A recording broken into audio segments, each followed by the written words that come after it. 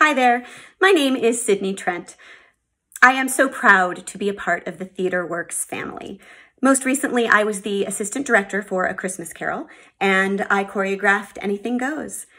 Theater Works is an amazing organization, not only for the arts, but for all of the work it does for our community.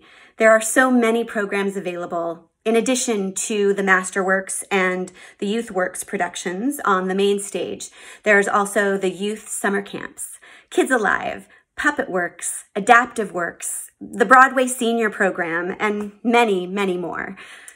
And this is where we need your help. The arts organizations all over the country are suffering from COVID-19. We are all suffering from the COVID-19 crisis. TheaterWorks has launched a match campaign. Through the generosity of two of our amazing donors, Connie McMillan and Tom Guider, who have agreed to each match dollar for dollar any donation that you make for the next several weeks. If you're not able to donate, that's okay too.